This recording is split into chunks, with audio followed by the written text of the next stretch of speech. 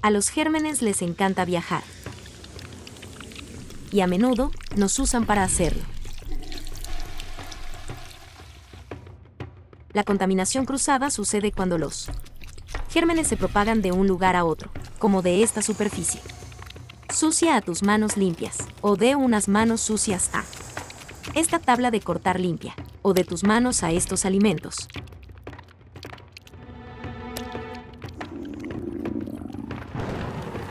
Y una vez que comienzan a propagarse, no se sabe dónde terminarán, o lo que harán cuando lleguen allí. Para evitar la contaminación cruzada, lávate las manos regularmente. Usa guantes de un solo uso.